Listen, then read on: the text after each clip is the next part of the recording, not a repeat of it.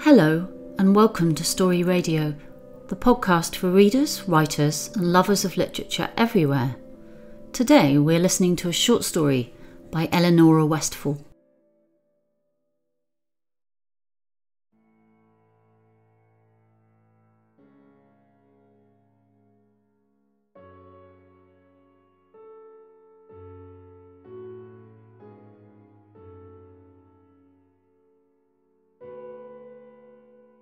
Inspired by the children who found Virginia Woolf's body in the River Ouse in 1941 during World War II.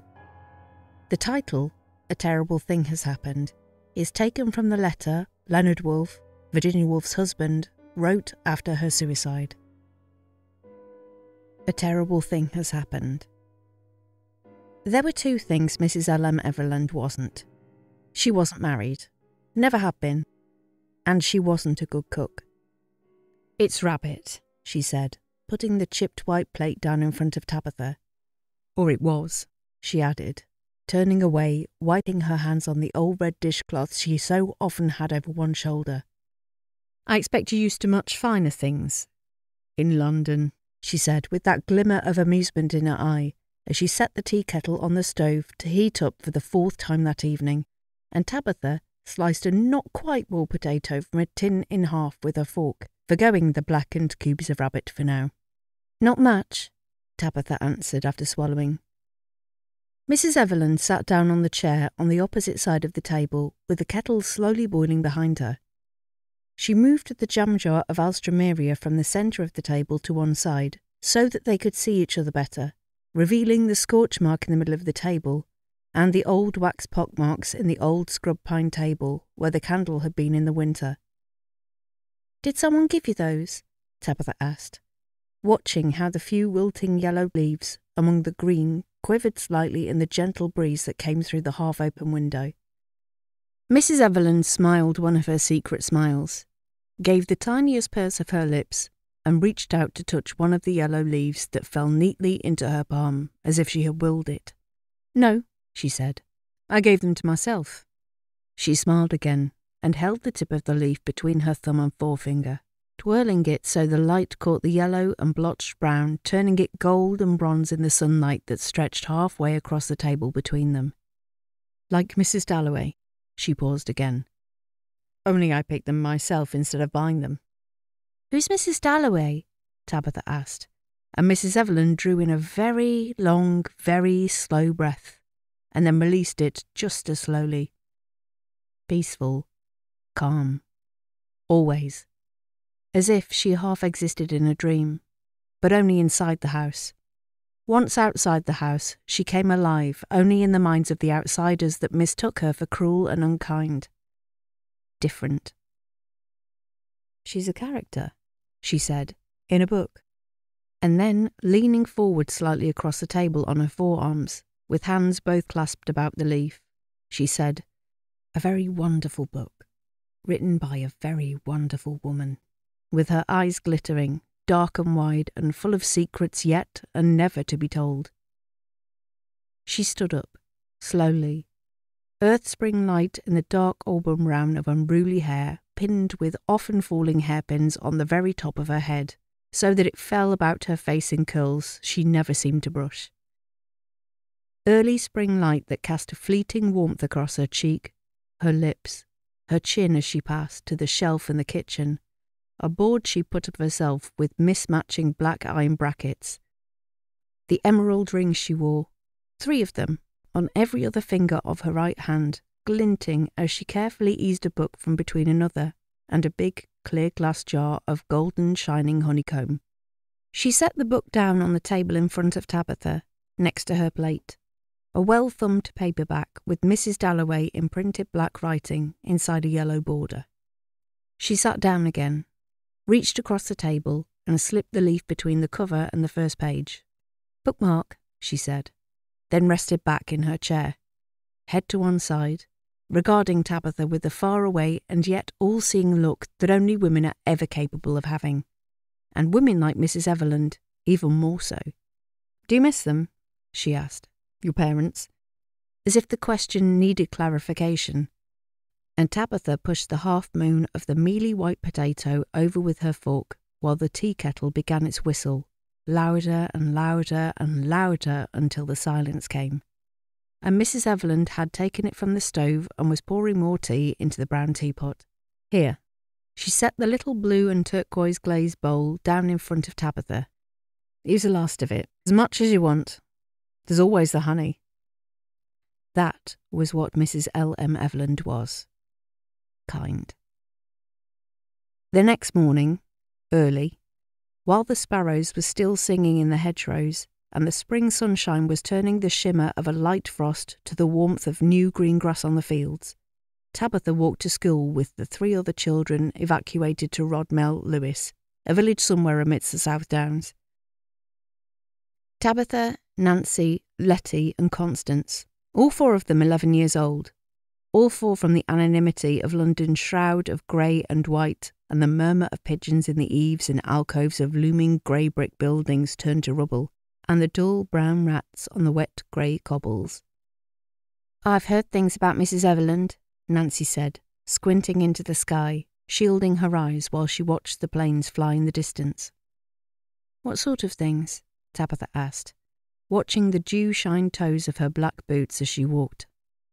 I heard she never leaves her house, Letty said, before Nancy had a chance to answer, turning, grinning, brown leather satchel bumping against her thigh. Well, I heard that she killed her husband, poisoned him, Nancy, who was tall for her age, with two long plaits of chestnut hair, said this with a pointed look in Tabitha's direction. Apparently, she went on, she cooked this huge, sumptuous feast for him. Everything he liked. Dessert too, and he ate it. But he didn't know that she's put poison in it first. Don't listen to her, Constance whispered, leaning her head of tight blonde curls close to Tabitha's own and interlinking her arm with hers. Nancy glanced back again and grinned a toothy grin. Then what happened? Letty asked, kicking a small, white, round stone that looked like one of Mrs. Everland's ball potatoes into the grass from the track. Then, Nancy drew in a breath, thoroughly enjoying her role as revealer of truths. His blood turned to ice, just froze up in his body, and he died in his chair, just sitting there, before he'd even eaten the stew pears.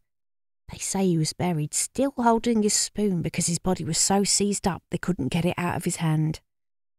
Letty screwed up her face, opened her mouth to say something, and then closed it again. That's not true, Tabitha said, nonchalant, looking up now, edging on defiant should the weather have called for it. And how would you know? Nancy asked, all but rolling her eyes. She told me, she said, when we first arrived she said. They'll tell you about me, the people in the village. They'll tell you I poisoned my husband. But I can tell you that's not true, she quoted. of course she'd tell you it wasn't true, Nancy laughed. She's not going to admit it, is she? She's never been married, Tabitha added, and Nancy's smile faltered slightly. And now it was time for the real nail in the proverbial coffin. She can't cook.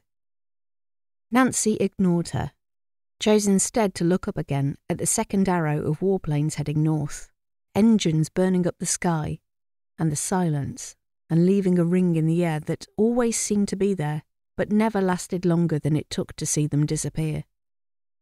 Well, I heard she never got married because she was having an affair, Letty began, once they'd started walking again. This was her moment now, and she paused for effect. With a woman. Who? Nancy asked before she could stop herself. Now it was Letty's turn to look smug. A writer. She writes books, novels. She's quite famous, Letty said with an air of authority. Although Mother said they're not appropriate. She writes stories about women who aren't women at all. They act like men. One of them, Orlando, kept turning from a man to a woman and did all sorts. Nancy's face twisted with alarm through intrigue to suspicion. How do you know? she asked, and Tabitha felt the heaviness of Constance's arm through her own, and the weight of Mrs. Dalloway in her satchel, as she remembered the flush of Mrs. Everland's cheeks as she had set the book down so carefully beside her. a very wonderful woman. Around the corner, they bumped into Eric, an elderly man with a dog they had passed every morning since last Tuesday on their first day to school. He tipped his cap to them, stepped aside so that his earth brown boots crunched the final frost between the hedges, and tugged the fraying string rope gently to bring the little black and white terrier dog to his heels. Morning, he said as he tipped his hat.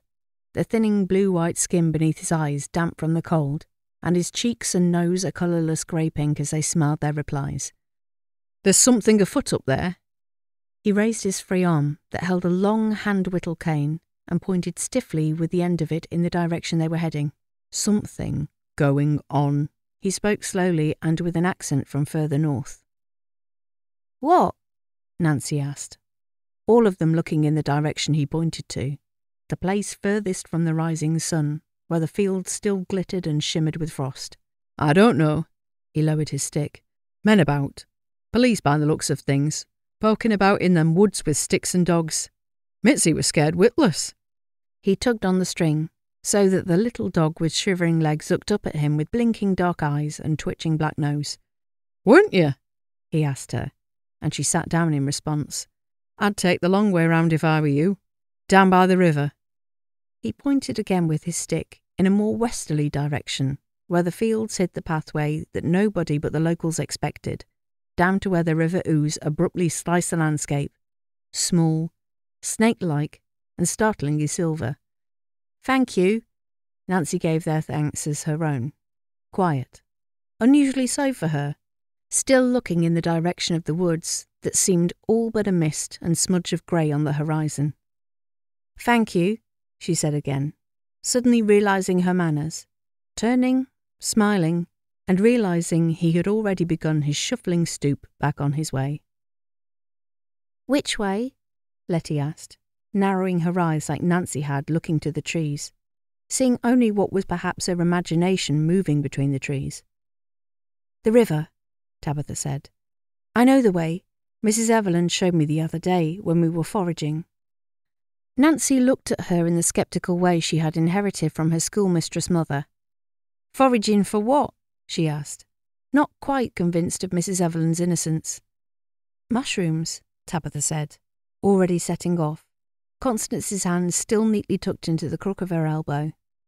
And wild garlic, she added, when Nancy and Letty began begrudgingly to follow. I thought she couldn't cook, Nancy asked as they turned down the lane in between the fields the grass and the odd uncut blades of wheat that brushed the backs of their knees. She can't. Tabitha and Constance stepped over a rabbit hole in unison. But she does try. She glanced briefly back at Nancy's screwed up face, her feet wet inside her shoes from the grass, Letty trailing along behind her. And the garlic was for a remedy she made. It had antibacterial properties. She glanced again at Nancy, enjoying, fleetingly, the knowledge that when it came to Mrs. Everland, she was the expert, as much as one could be, after knowing her only for a week. Sounds like witchcraft to me, Letty said from the back, breathless and pale, unused to walking for longer than the time it would take to step from a London doorway to a carriage. But neither girl replied. They merely stopped, in a line, stopped without thinking. The grass, in its dew lit glory, melted away to sand coloured grit shot through with the glint of splinters of quartz and feldspar, and the water, flat, calm, both grey and silver, gold and white, sparkling beneath clouds that reflected the day in the cool of the water that ran, seemingly unmoving beneath the old stone bridge they would cross on their way to school. What's that? Letty asked.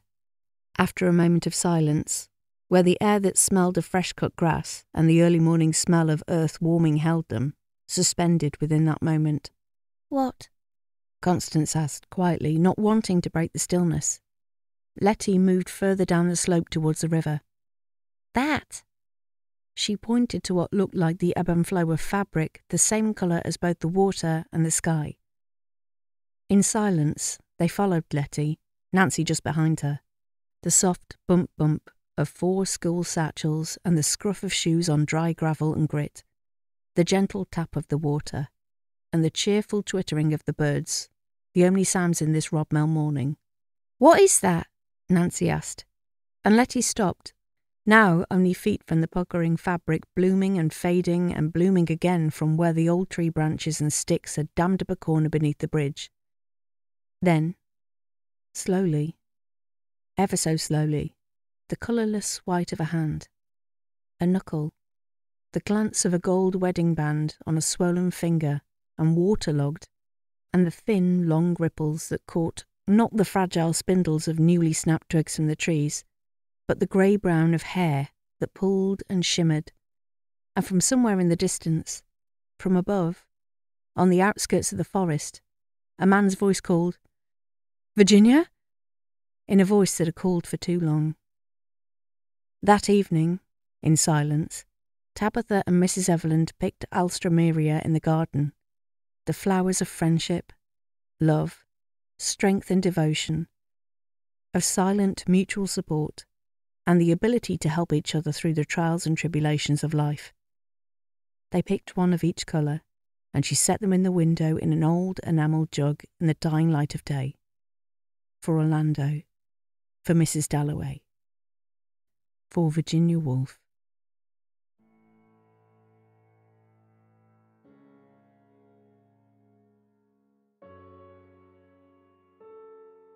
That was A Terrible Thing Has Happened, written and read by Elinora Westfall. The producer was Tabitha Potts. If you're enjoying listening to Story Radio, don't forget you can support our work using Ko-fi. Just visit ko-fi.com